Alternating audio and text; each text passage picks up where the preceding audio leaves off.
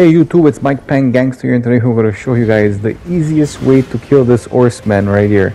Uh, he's right at the beginning of the game. Uh, do You could try to uh, kill him at the beginning, but I'll tell you right now, uh, he is extremely hard. So if you're not like a veteran at Souls types of games, don't even bother.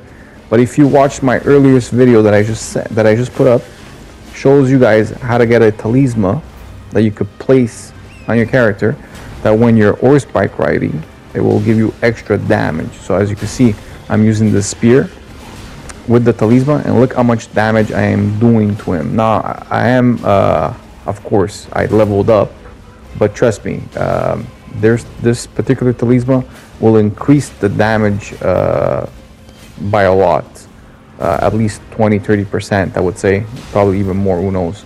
Um, I didn't really check the stats, but it, it, there's a big difference, that's for sure. Uh, pretty much, all you do is horse bike ride.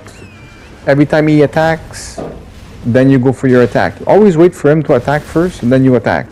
That's pretty much it. Uh, stay on your horse. Unfortunately, sometimes you're gonna like basically uh, will uh, be summoned out of your horse because he just knocks you out or whatever it is. Just make sure you're able to get back on your horse as uh, quickly as possible.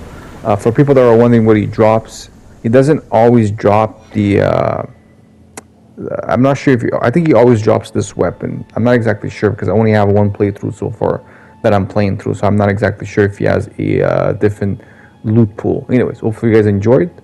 Go try it out, guys. Have a good day. Bye bye.